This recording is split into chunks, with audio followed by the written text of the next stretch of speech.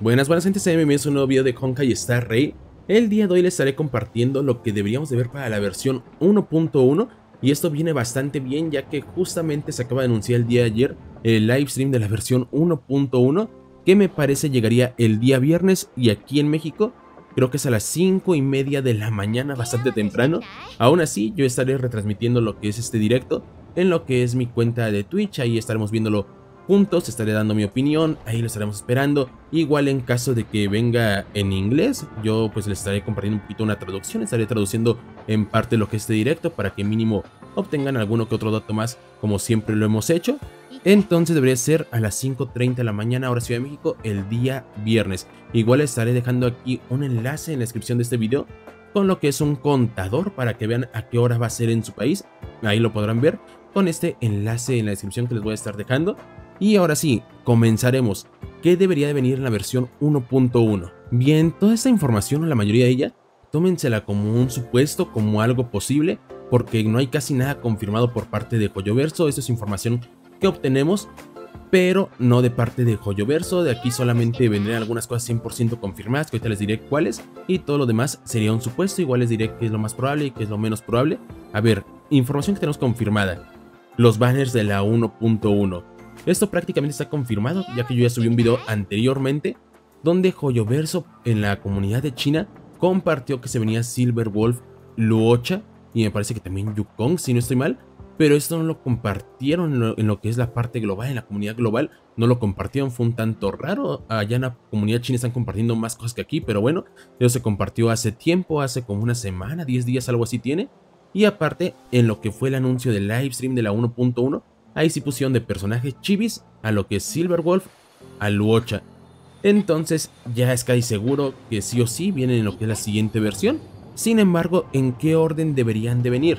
Esto puede variar, pero lo más probable es que venga Silverwolf acompañada de Yukong en lo que es la primera mitad, así es después de Yuan. Y después en la segunda mitad debería venir Luocha. Esta es la información que yo tengo de momento, pero como siempre puede variar. Después, algo que es seguro, ¿no? Vienen conos de luz de sus personajes, tanto de Silver Wolf como de Luocha. De momento no he investigado cuáles son los conos de luz, si hay información de ellos, pero sí o sí deberían de venir estos conos de luz, estas armas, en lo que es la versión 1.1 eh, junto con eh, su respectivo banner de su personaje. Después, ¿qué más cosas? Una cosa que está no confirmada, pero debería venir, pero no tanto en lo que es la versión, sino en el livestream, son los códigos de Hades. Recuerden, en lo que es Genshin, siempre con cada livestream dan lo que son códigos de protogemas. Aquí seguramente harán lo mismo y si es igual que en Genshin, deberían de dar 3 códigos con 100 jades cada uno, 300 jades, aunque a lo mejor dan más, menos, no lo sé, esperemos que más, ¿no? Pero yo creo que sí o sí van a dar dos códigos de jades, así que estén al pendiente, igual yo estaré compartiendo aquí en lo que es YouTube toda la información respecto a este livestream de la versión 1.1, estaré compartiendo los códigos, igual en mis redes sociales, para que así no se pierdan de esto, ya que suelen ser códigos limitados que duran creo que 12 horas aproximadamente es el tiempo para que caduquen. Ahora sí, continuando, con cosas que vienen dentro de la versión. Algo que debería venir es el chat con nuestros amigos. Esto ya hay información de ello, eh, creo que desde la beta creo que ya hay información de lo que es el chat, así que seguramente vendrá en lo que es la 1.1 o eso espero. Y es que nos pasaba, ¿no? Cuando entramos aquí en Honkai, que ¿qué hacemos con los amigos? No podemos jugar con ellos, no pueden visitar nuestros mundos, solamente podemos elegir un personaje de apoyo. Pero y todo lo demás, el chat, ¿qué pasó con ello? Pues aquí el chat sí o sí debería venir. Yo espero que en esta versión 1.1, ya que es algo muy importante, ya que esto pues ayuda bastante a socializar, eh, seguramente nos pondrán emotes y todo ese tipo de cosas. Después, algo que sí o sí viene, eventos dentro de lo que es el juego. En lo que es Genshin suele venir un evento principal y tres o cuatro eventos secundarios. Aquí debería de ser algo muy similar. La información que tenemos de momento es que viene un evento principal donde las recompensas serán de 1000 Hades, que es la información que conseguí de momento, 1000 Hades en lo que es eh, el evento principal. Después tendremos 4 eventos secundarios, de esos eventos secundarios 2 serán de recompensas por 2 y 2 eventos secundarios normales. ¿Qué es esto de recompensas por 2? Nos vamos para acá. Se supone que debería venir un evento donde nos den recompensas por 2 en lo que es el cáliz de oro y cáliz carmesí. Esto de por 2 simplemente nos dan cierta cantidad de intentos al día, en lo que es Genshin son 3 intentos al día de lo que es resina, en este caso poder trazar caminos. y esto puede durar, no sé, una semana por ejemplo de evento y durante esos días, esos intentos, conseguiremos el doble de recompensa al farmear. Esto viene bastante bien y mucho mejor si llegamos a un nivel más alto, por ejemplo nivel 40, que sería lo ideal que lleven ahorita cuando menos, si pueden llegar a nivel 50 pues sería mucho mejor para que les den más recompensas. Después tendríamos otro evento de por 2 que sería en el universo simulado con los ornamentos, donde también nos deberían de dar el doble de recompensas de ornamentos. Y después ya dos eventos secundarios normales.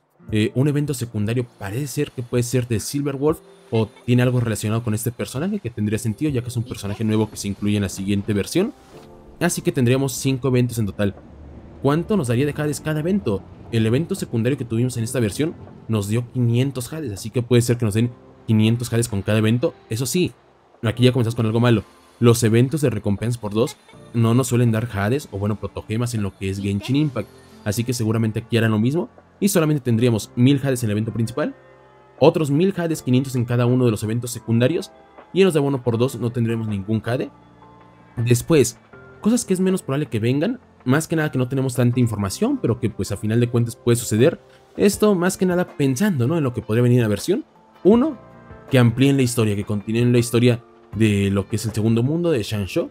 Podría ser que la continúen para ver la culminación de esta historia y con eso mapa nuevo. Podría ser, pero yo creo que esto lo van a dejar para una versión más, para la 1.2. Yo creo que se esperarán un poquito más, pero bueno, ya veremos si esto lo continúa en esta versión. Después también pueden venir voces y enemigos nuevos. Esto igual, si amplían lo que es el, mapa, seguramente vendrán enemigos y voces nuevos. En caso de que no lo amplíen, igual pueden meter algún boss en lo que es una zona que ya tenemos, pero igual sería un tanto raro, pero podría venir. Después, artefactos nuevos. Artefactos es común que sigan metiendo sets de artefactos, pero en este punto sería necesario, eh, no lo sé. Luocha, por ejemplo, Silver Wolf, a lo mejor no hay ningún set que les venga completamente bien, pero igual hay sets que más o menos se ajustan a ellos. Tenemos de cuántico, tenemos de curación, eh, tenemos de ataque, tenemos diferentes sets. Entonces a lo mejor no es necesario en ese punto, pero igual podría venir lo que es un set de artefactos nuevo. Aunque yo creo que esto de artefactos de continuación de la historia lo van a dejar para la siguiente versión, para la 1.2. Después, nuevos personajes a futuro jugables igual. Si amplían lo que es la historia, seguramente introducirán nuevos personajes que en un futuro serán jugables. De hecho, tenemos varios personajes ya como que anunciados, por así decirlo. Nos vamos a la parte de archivos. Aquí en los conos de luz podemos ver algunos conos de luz con personajes que en un futuro van a ser jugables o los van a introducir, que de momento no tenemos. Eh, vámonos por acá. Eh, creo que este personaje, no creo que este personaje no lo tenemos de momento, pero hay personajes que he visto que sí ha salido información de que van a ser jugables en un futuro, que tenemos aquí en los conos de luz. Por ejemplo, este este juzgando. Este juzgando, he visto mucha información por ahí de que va a ser jugable en un futuro y creo que hasta allá está su nombre y algún par de datos de este personaje.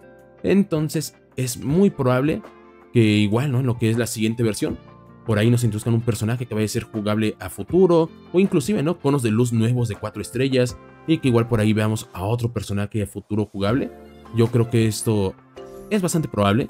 Así que lo primero que les comenté de los eventos, del chat, del orden de los banners, es lo que seguramente veremos en la siguiente versión. Muy probable, pero aún así sigue siendo un supuesto.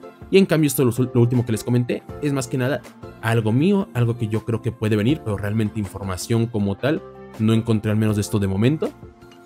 Y me gustaría que me dejen aquí en los comentarios de este video qué es lo que ustedes esperan más de esta versión de la 1.1 o también qué les gustaría ver, cuáles son sus predicciones Déjenlo aquí en los comentarios, los estaré leyendo. Y si les ha gustado el video, no duden en darle al botón de suscribirse y dejen su like para más contenido de Conca y Rey en el canal.